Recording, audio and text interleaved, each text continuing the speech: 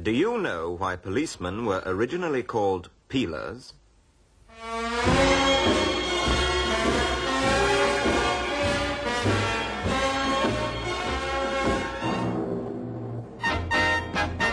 Do you know that the English longbow, with its enormous range, was first used against the French at the Battle of Cressy in 1346?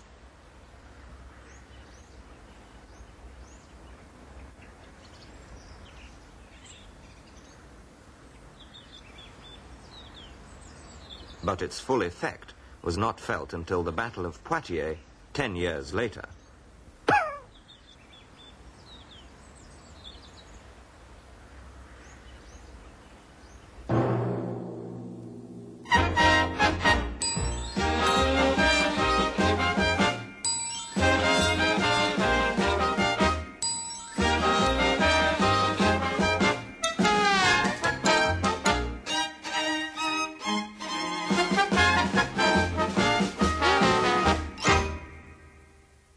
Tonight I wish to tell you about Turgonitis, a little known but very nasty disease. First of all, let us take a look at the, how do you say in English, the symptoms.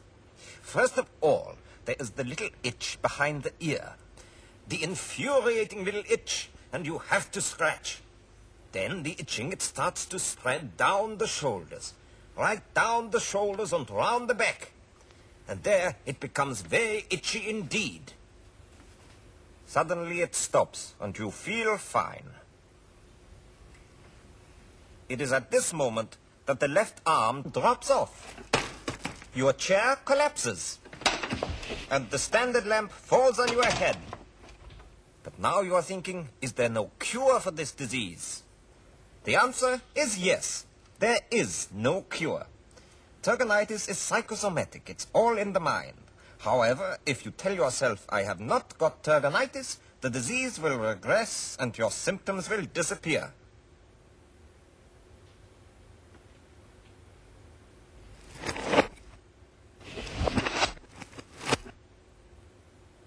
But beware, you may suffer a relapse. Turgonitis is just one of the many new and exciting diseases developed by us here at the British Institute of Applied Science and Technology and not germ warfare. Today, Turgonitis, tomorrow, the world!